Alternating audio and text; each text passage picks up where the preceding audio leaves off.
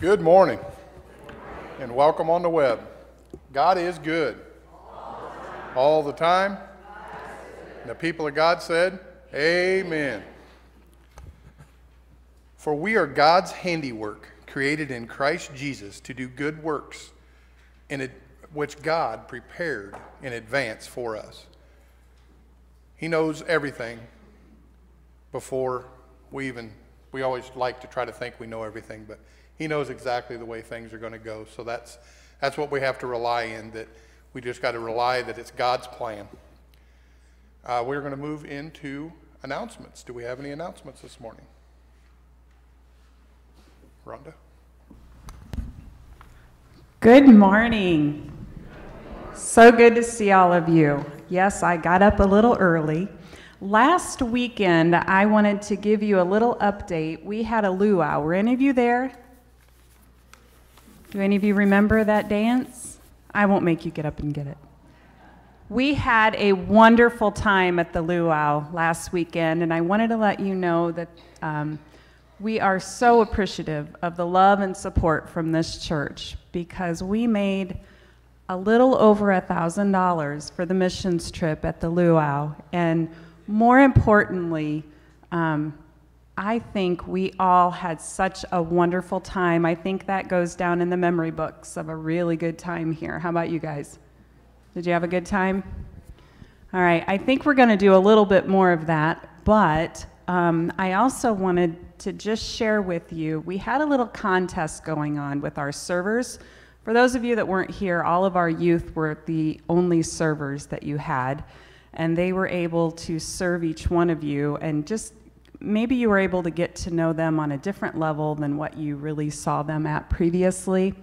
And the two boys, um, Jacob and um, Zane, um, were our two winners. And um, that was just kind of a, a little uh, contest behind the scenes. But I wanted to let you know that it was more than that. It was letting the kids serve you and um, it really goes to what their missions trip is all about, and that is serving others.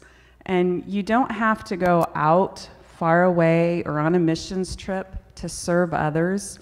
We can do that within our own church in different ways. And so I just wanted you to, to know that it doesn't matter of your age or your gender um, you know, sometimes it's stereotyped that, you know, women are the best waitresses. Well, guess what? The guys won. So, you know, it, it, all comes down to what's in your heart and what you have to give. And that just comes out overflowing as you meet others and just let that mission go. Um, so, I really wanted to thank you so much um, for joining us and just having a good time with the youth and all the love and support that you've been giving and have prayers and just everything that you do for the youth because it really is making a difference. And um, we also kicked off, I don't know if you saw, the Flo is back, the Flamingo. So, um, for those of you that don't know about Flo, Flo comes up about this time of year and she gets lots of her friends and some of them fly into people's yards late at night, it typically happens. And you wake up and you see this beautiful pink array of Flo and her friends in your front yard. And it's just kind of a fun way to let the friends and family that you know that um, they love you. And some people just really don't like Flo. And that's okay because you can buy Flo insurance. That means you don't have to have any of Flo and her friends in your yard. So if you're interested in the flocking, uh, we do have a table out here and we'd love to talk to you about it. Thank you. Thanks, Rhonda. Any other announcements? Yes, Brian. Uh, the yellow sheets in your bulletin day, just wanted to uh, kind of call your attention. Uh, and we do have a means for a church-wide meeting in the United Methodist Church. It's called a, a church conference or a charge conference. And uh, the charge conference is the administrative board meeting with the authority of, of, of a conference. And um, when that's expanded to every member uh, having a vote, it's called a church conference. And so uh, we have called, uh, asked the district superintendent, and a week from Tuesday, March 13th, we're having a church conference. Uh, the trustees and administrative council over the last few months have recommended that we sell the Christner uh, property. And uh, so, through uh, some fact finding and searching and looking, uh, that is their recommendation. And so, we're bringing that back uh, to a charge conference. That will be the motion that is presented at uh, the beginning of our regular scheduled administrative council meeting. So, if you might be interested in that and what all has gone into that decision and uh, the hopes and plans uh, for that sale, uh, come on out uh, on Tuesday, March 13th, as we begin our regularly scheduled administrative council meeting with uh, a church conference. So, we'd love to see you. Thank you. Any other announcements? great granddaughter. She's a real whopper. She weighed five pounds. Five pounds. Congratulations. Any other announcements? I have one. We have. This Saturday at eight-thirty at Richard's Restaurant is the men's devotional and breakfast. Uh, just make sure you come out and enjoy us. Uh, it's been a great time. I ain't been there in a while, so I don't think Merle has either. We'll both be there this week, so. Um, any other announcements? If not, let's stand and greet each other with love.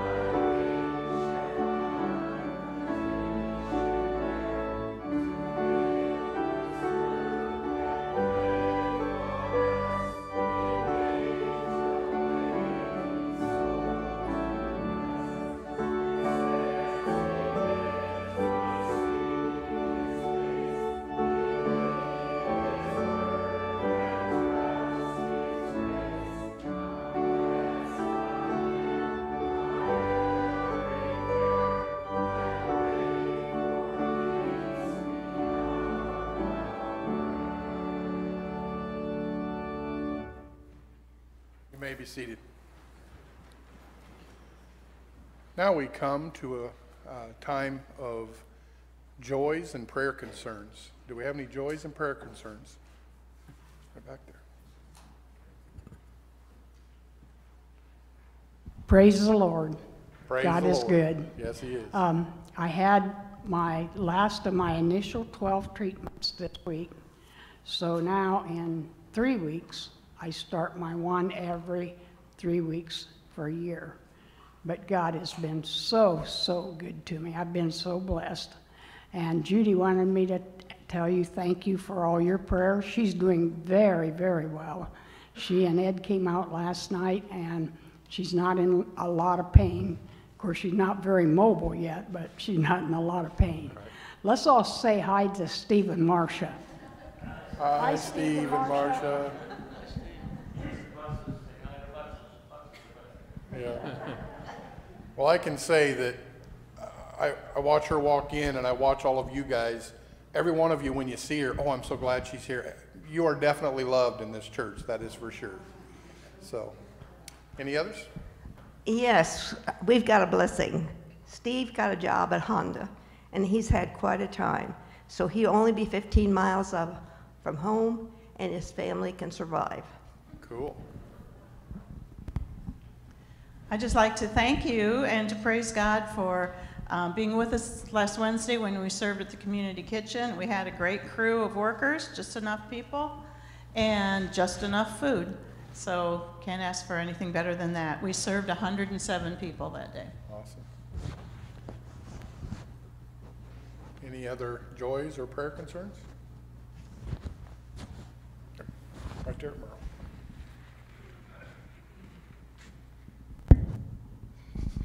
I wonder if we could have a hands-on prayer for a girl. She's going in for surgery tomorrow. Could we do that?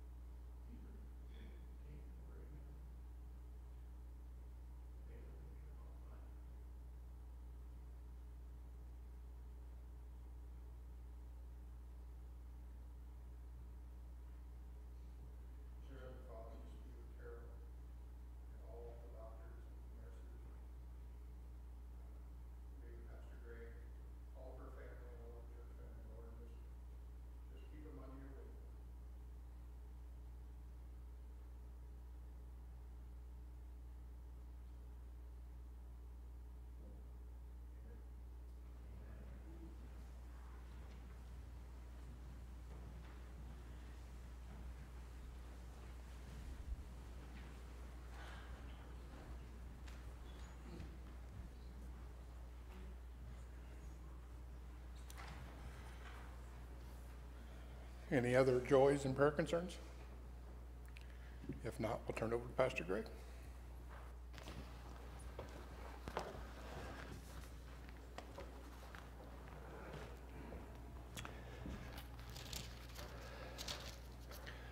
Carol and I so appreciate um, the faith, the support, and the care of the body of Christ. Um, and thank you for that. Um, she has been uh, receiving uh, notes and cards and prayers of support and, uh, and those that are uh, slipping down to be with her ahead of time. And it's um, just a great, great support. And we know that we and she are totally in God's hands. Um, as we come to communion uh, this morning, we move the table down and out on communion Sundays. Um, because the scripture talks about the communion being a place of invitation, and that communion is a place where we gather around the table. Jesus said that um, heaven will be like a great banquet. And he said he will not eat of and, and drink of the vine until that time when we all gather once again around the table. And so we gather around the table uh, for communion in hope and expectation of that day when we will be reunited with Jesus. And so we prepare for that. Um, one way we don't repair, I know as we grew up, one of the things we tried, I think, to never do uh, with our kids was to punish them through saying, Go to bed without your supper. Um, that was not uh, our means of discipline because we wanted the kids to know they were welcome around the table. No matter what they had done, no matter what they might confess during that meal time, uh, that was not a time to banish. Um, that was a time to uh, gather in support and care. And so, as we gather around the table this morning, uh, I'd like for you to pray.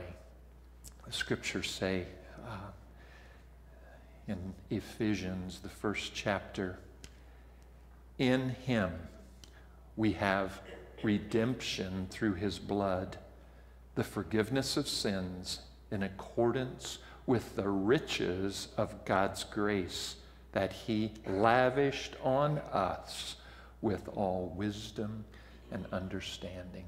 Um, no matter where you are this morning, no matter what you have done,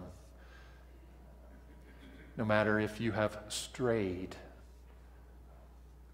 no matter if you have sinned overtly no matter if you are in a faith crisis this morning of wondering about your relationship with God, um, He invites you to the table. Confess your need, your weakness, your sin. Express your desire for Him to meet you in this place. Let's pray.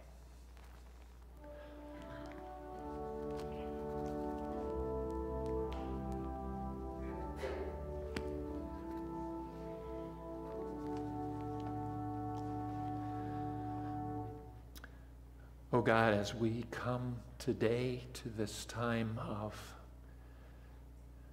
communion, as we come to this day, as we look forward to heaven and eternity, as we look forward to that place with you and that place of, of great feast and banquet, we long for that time when all the barriers will be removed, all the sin will be gone, all the sickness and sorrow, all of the pain all of the surgeries, all of the unrest, all of the tears. When everything that divides us will be removed and we can be wholly and completely reconciled unto you. When there will be no more wars or even rumors of wars, where there will be no more heartache or pain as we gather this morning, we gather in light of the hope that is ours in Jesus Christ. We gather knowing that you have already defeated death. You've already defeated sin. You've already defeated all of our enemies and those things that divide us. You say even Satan is under your authority. But we realize, oh God, that even though the war has been won, we still fight these battles in this life. And each day, we need you.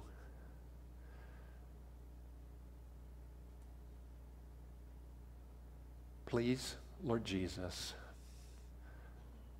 come fill us once again with your grace. Come, Lord Jesus, and as your grace flows, may we allow that grace to flow from us to those who so desperately need your forgiveness and your love all around us. May we be messengers of the good news. May we be bearers of Christ. May we be ambassadors into a world that needs peace. May we be a witness to the grace we have received and the salvation that is ours in you, O oh God. So, Father, may this simplistic message be ours today and this week as we gather around your table of grace. Continue to prepare us for this meal as we share in the Lord's Prayer and continue to invite us into that relationship with you. Our Father, who art in heaven, hallowed be thy name. Thy kingdom come, thy will be done on earth as it is in heaven. Give us this day our daily bread. Forgive us our trespasses as we forgive those who trespass against us.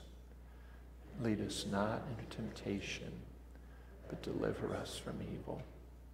For thine is the kingdom, and the power, and the glory forever. Amen.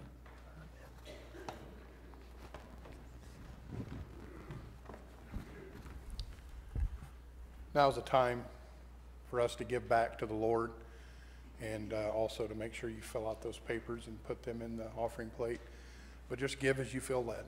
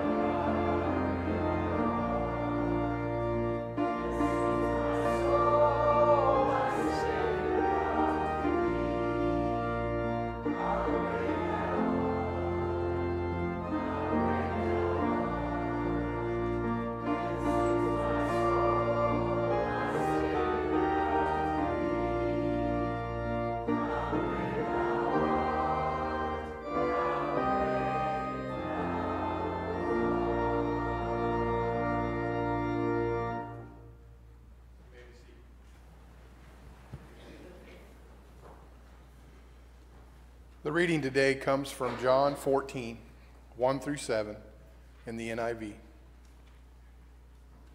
Do not let your hearts be troubled. You believe in God, believe also in me. My Father's house has many rooms. If that was not so, would I have told you that I am going there to prepare a place for you? And if I go and prepare a place for you, I will come back and take you to be with me, that you also may be where I am. You know the way to the place where I am going. Thomas said to him, Lord, we don't know where you are going, so how can we know the way? Jesus answered, I am the way and the truth and the life. No one comes to the Father except through me. If you really know me, you will know my Father as well. From now on, you do know him and have seen him. This is the word of God for the people of God. Thanks be to God.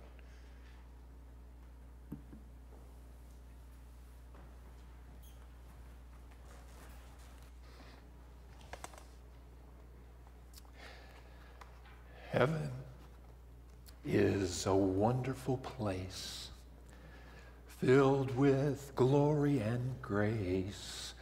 I want to see my Savior's face, cause heaven is a wonderful place. I want to be there. Heaven. When we think when we consider this wonderful place that Jesus invites his disciples to enter into in these latter hours before his crucifixion, he comforts them with these words Do not let your hearts be troubled. The thought, the hope, the reality of heaven in this earthly life that is filled with struggle, with pain, with sorrow, with sin, with disappointment. The thought of heaven is one of those realities that keeps us going that helps put perspective on this life. We are troubled.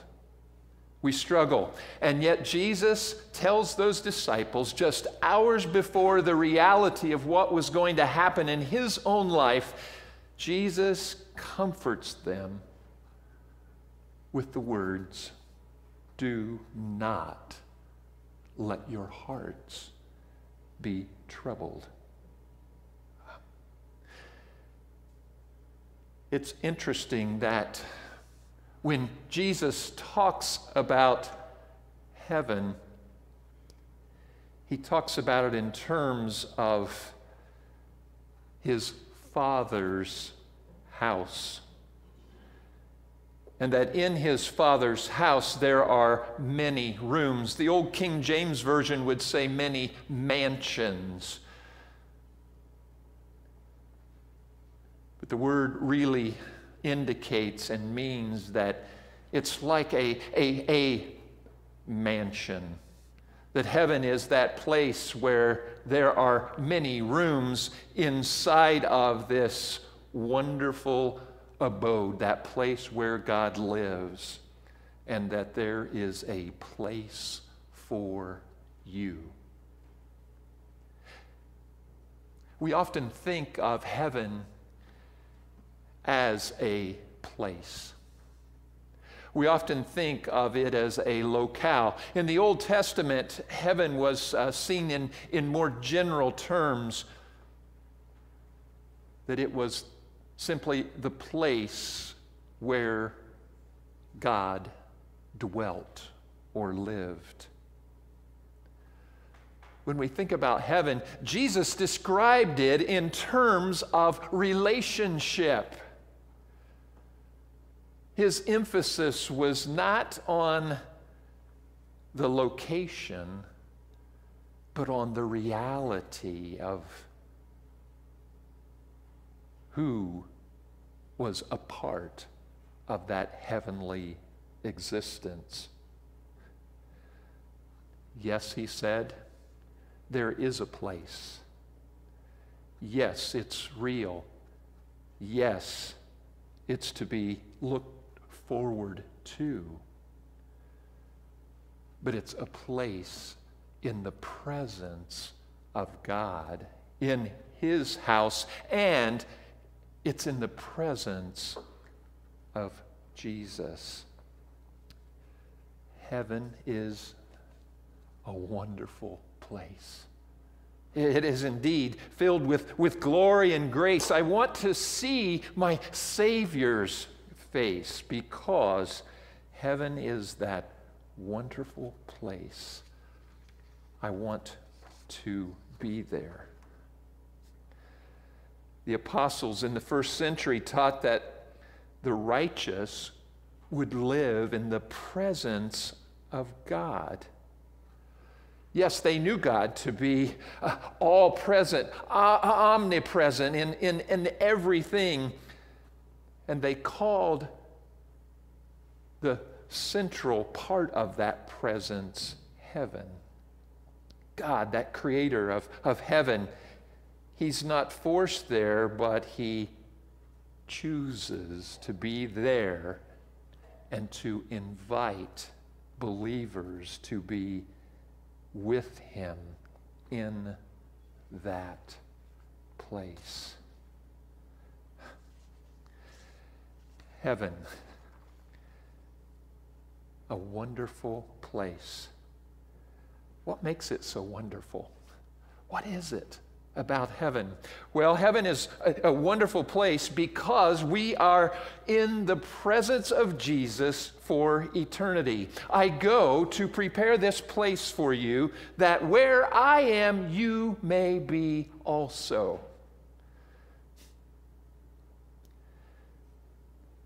And if you who have children that may not be living right near you, there's something extremely special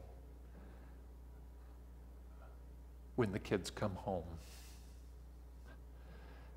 There's preparation. There's the, the cleaning of the house. There's the gathering of the food. There's the clearing of, of the schedule as, as much as possible. There's the invitation to come and the anticipation of of what it will be like when we all get together. Heaven's described as that kind of a place. When we all get to heaven, what a day of rejoicing that will be. Jesus says, it's a day of rejoicing. It's a day of celebration. Heaven is that wonderful place, he says, because we're going to gather in his Father's house and he will be there. We come to faith through Jesus. He says he alone is the way, the truth, and the life. Our relationship with God is through a relationship with Jesus Christ. It's the receiving of the gift that He has to offer, His relationship that is open to each and every one of us as He invites us into that relationship through faith, through belief that He is the Son of God, He is the Savior of the world. We receive Jesus by faith. We believe in heaven by faith.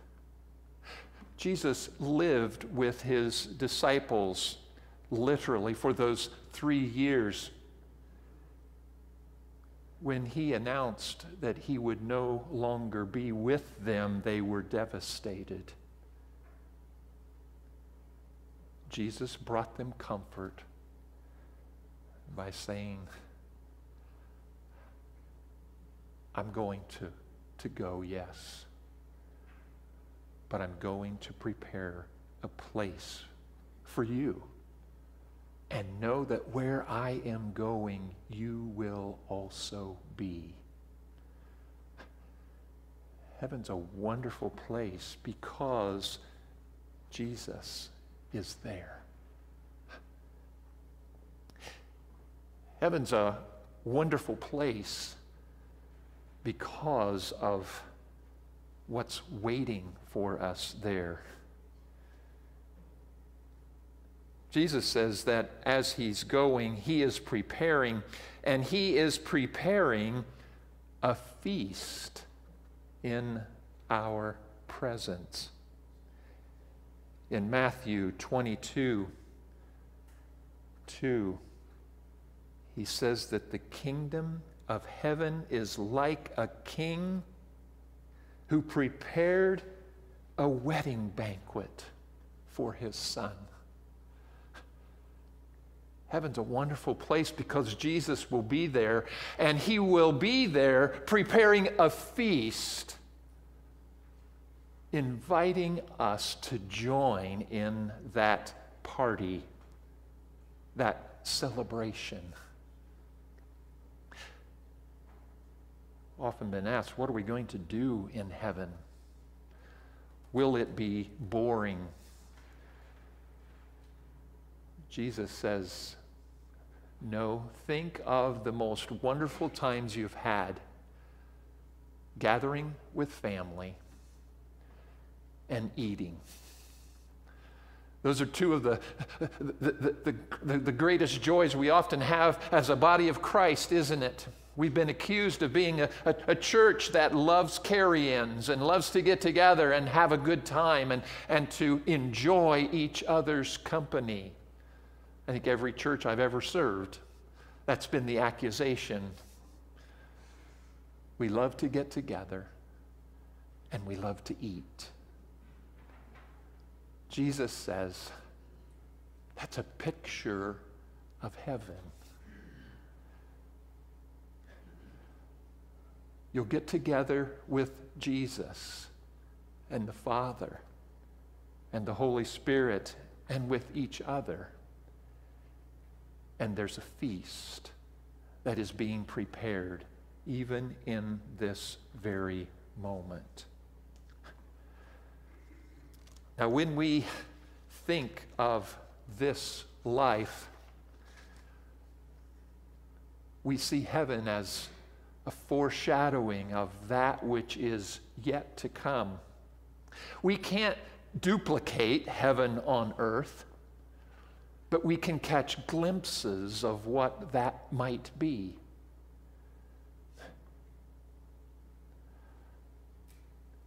He said the Holy Spirit is with us when we gather together as a body of Christ.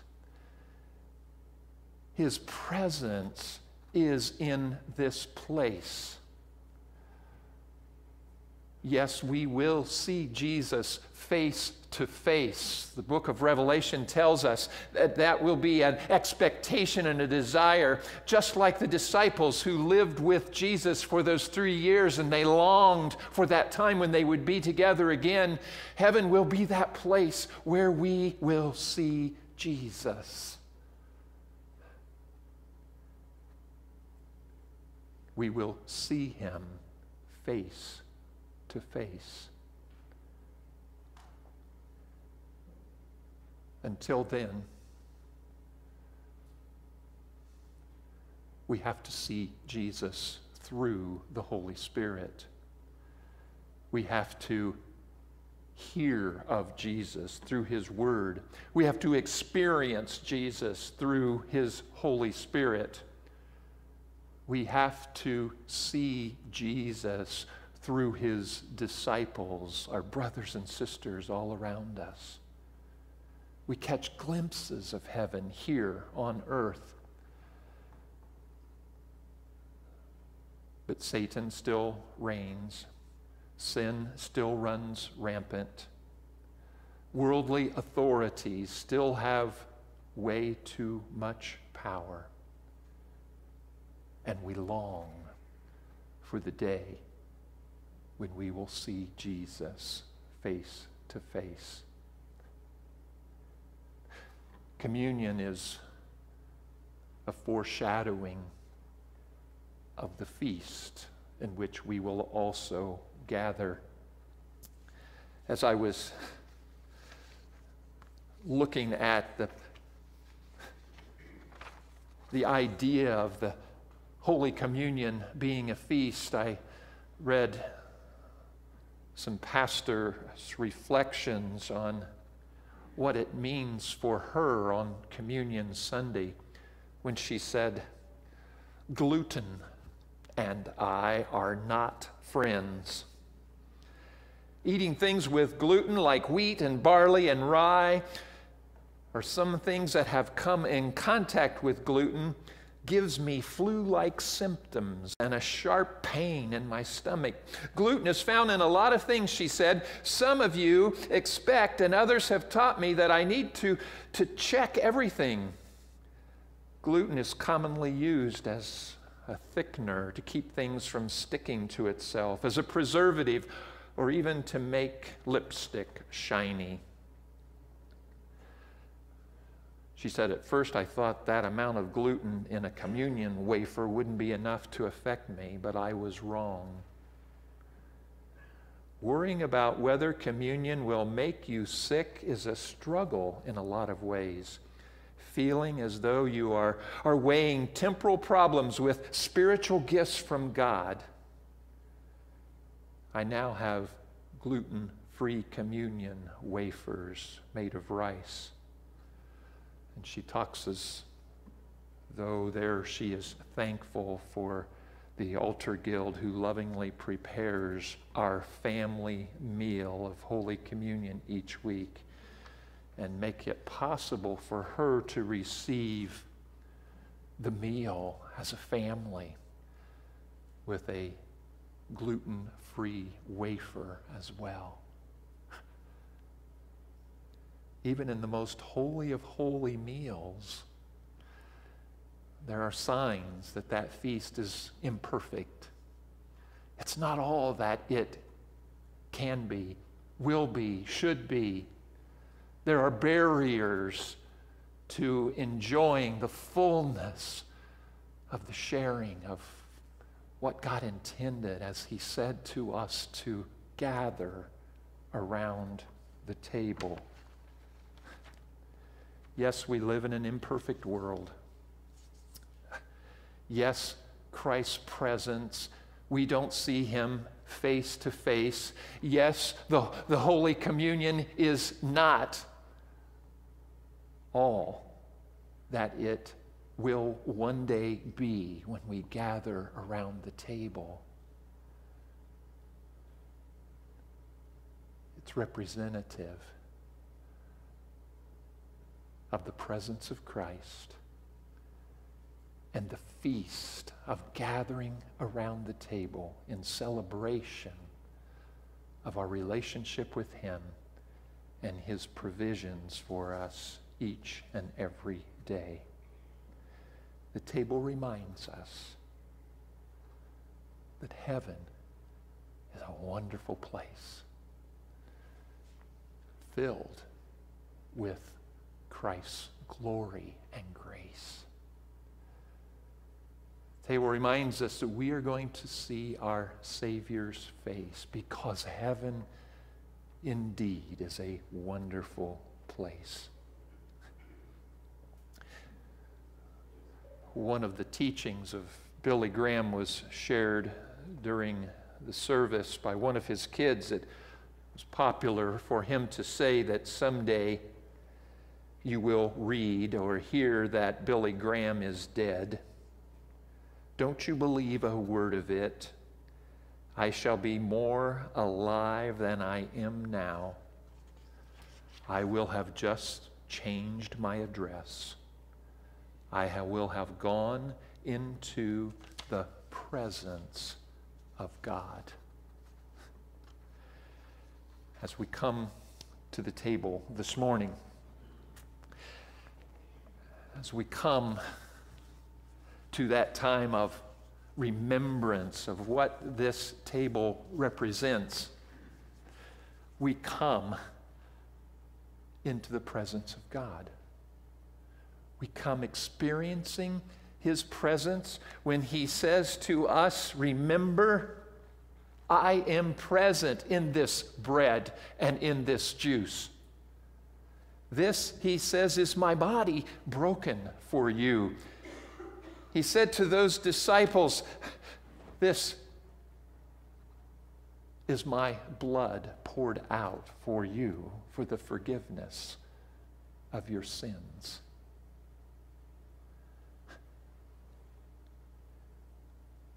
Communion reminds us that heaven is his presence and we can catch a glimpse of it here and now. When we partake of the communion, we know that this feast is not all that it can be and will be. For he says, I won't be drinking myself of it until that day when I return, and I will feast with you face to face, in person, once again. Communion is a glimpse of heaven, a glimpse of his presence, a glimpse of the life that he brings, a glimpse of the hope that we have in that relationship with him, and a longing for the day in which this meal will be transformed into the feast that will wholly sustain each and every day. I invite you to participate in his presence today. And I invite you to catch a glimpse of the feast that will be ours in heaven.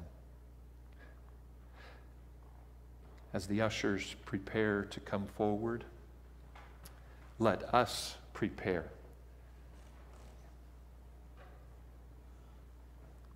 Oh, Holy Father, I thank you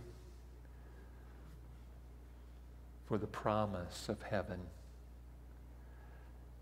I thank you for that promise that you gave your disciples that the greatest thing about it is it's your presence.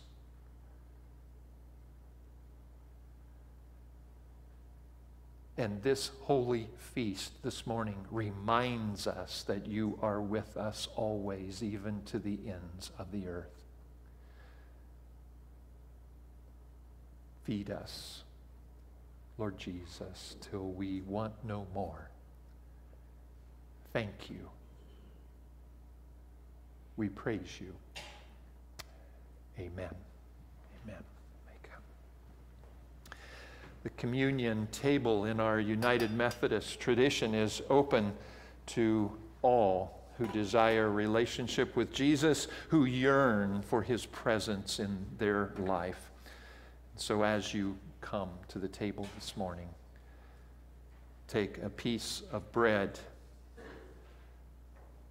hold it, ponder it, consider it. When all have been served, I'll invite you to take and eat in remembrance.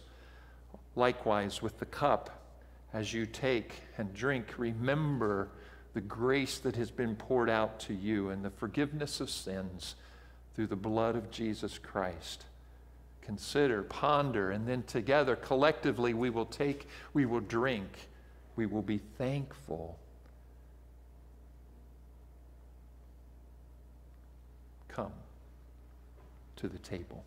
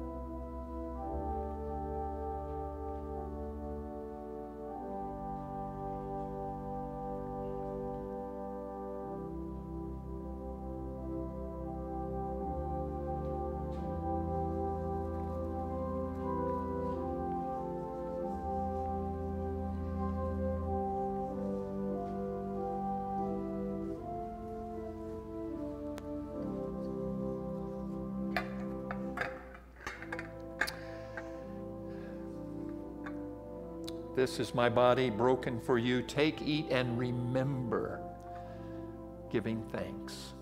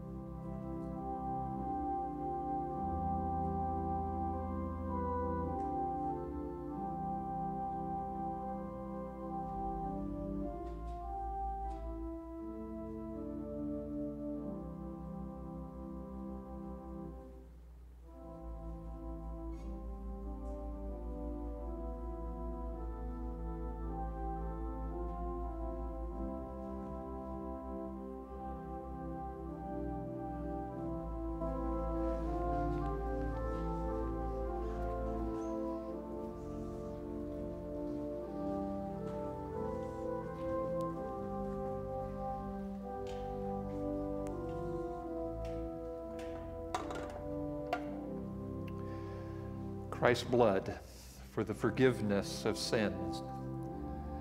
Thanks be to God for his indescribable grace. Drink ye all of it and remembrance.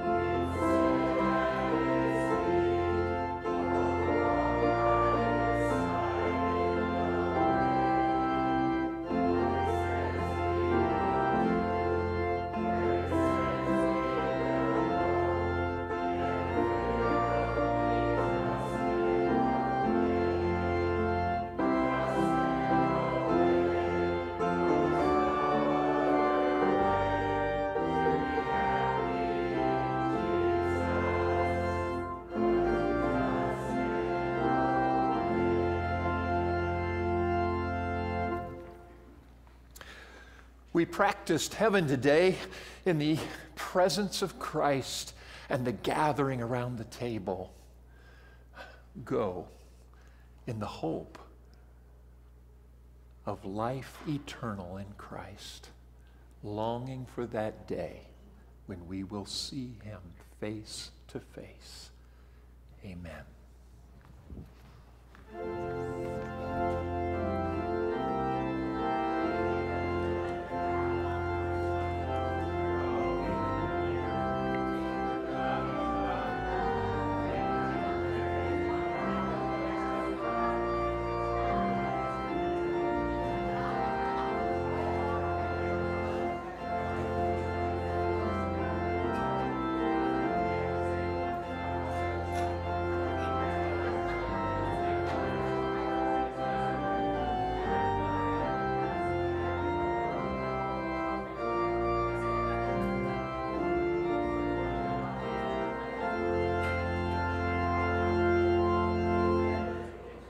Job, Matt. Good job, Joyce.